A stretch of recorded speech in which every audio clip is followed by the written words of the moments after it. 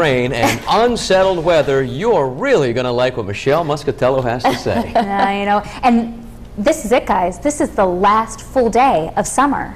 Oh, Right. gosh, double whammy, Let's go. Michelle. Thanks. What kind of good Let's go ahead. We'll just get to the details here for you because it is a pretty ugly weather pattern for you setting up here over the next five to seven days. We've got uh, live pinpoint Doppler 12 radar. You know, it's not a soaking rain, but we do see scattered showers. We've had them since the overnight hours, parts of uh, 195 through uh, New Bedford and Fall River getting wet, Westport as well with some showers this morning, Tiverton and parts of Portsmouth and Middletown with some scattered showers out there as well. As you travel to the West Bay, especially over uh, uh, parts of Kent County, South County, a little bit of a lull right now. You still have some low clouds, fog, and mist, but yeah, the autumn season officially begins with the equinox tomorrow morning, 5.04 in the morning. And there's not going to be a dramatic change from today to tomorrow as we take a look at your uh, uh, your future cast. But peak foliage, I know a lot of people love this time of year for doing a little leaf peeping. For our area, it's typically late October where we see our peak foliage, but it's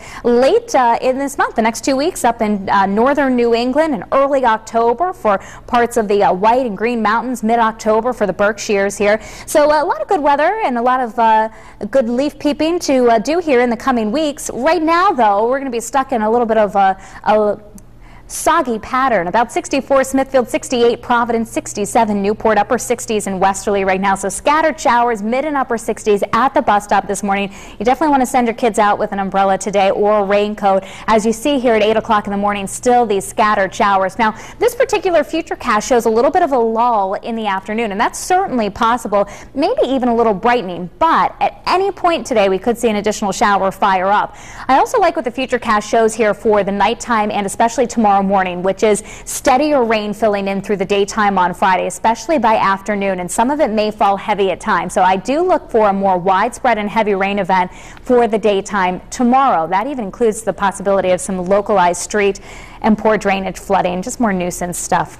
73 for the temperature this afternoon in Charlestown. Scattered showers, very muggy. The humidity is going to be running very high over the next five to seven days. Mid 70s Burrillville, Johnston's at about 73, and the high temperature in Taunton near 76, 75, Seekonk, Middletown at 72. On the bay, poor visibility. We've got the showers off and on today. The areas of fog and low clouds. High tides at 347 in the afternoon.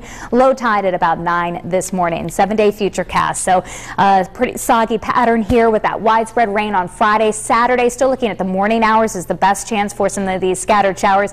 And there may still be a break in the action, possibly for Sunday, but a stray shower possible. I think a better chance of showers returning through the day Monday, and we may keep them around off and on for Tuesday and Wednesday morning. And then it looks like we finally break out of this stubborn pattern and get back to some drier.